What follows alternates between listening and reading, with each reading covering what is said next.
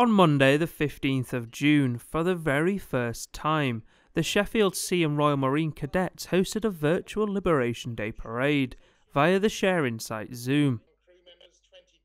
Of those in attendance were MLA Roger Spink, the Lord Mayor of Sheffield Tony Downing, and the District Staff Officer Sergeant John Daly. So initially, um, we had a, a, VIP lounge. So the VIPs came in.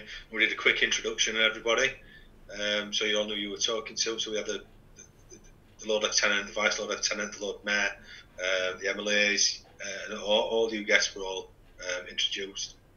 Then the cadets came in and introduced themselves. So the three corporals introduced themselves, um, and then we had the video um, kind of presentation about the, the, Falklands conflict, which I think was, um, really well presented, really well presented. Yeah.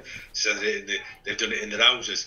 Um, and then we had um, our um, secret or unit um, bishop actually gave a, a prayer ceremony.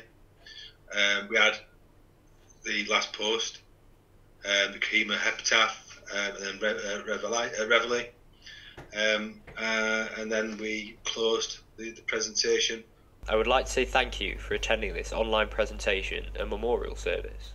The Sheffield Cadets have a significant association with the Falkland Islands, as former Marine Cadet Rob Griffin had fought in the 1982 conflict and was buried at sea following the sinking of landing craft Utility F4 from the HMS Fearless on June 8, 1982. In October last year, MLA Leona Roberts had presented the Falkland Islands flag to the cadets, which flies every year for five days after Liberation Day.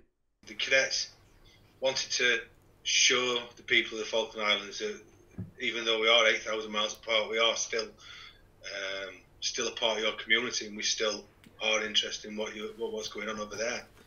Um, and we want you to see that we, we are, you know, we didn't just pick the name, we just go, oh, Falkland Training Centre. The, there's a lot of thought gone into that. We want to be a part of that community. Um, and just so you're all aware that just just here, a little part of South Yorkshire, there is a part of the Falkland Islands just sat here um, that young people are rightly proud to be associated with. And I think one of the cadets actually said that at the end of the presentation that we'd never forget um, no matter how long, we will never forget that, that we're a part of that, that community. We, are very proud of, of, that link, very proud of the link that we have. Um, and all I want to see is, is, see that develop and become even further.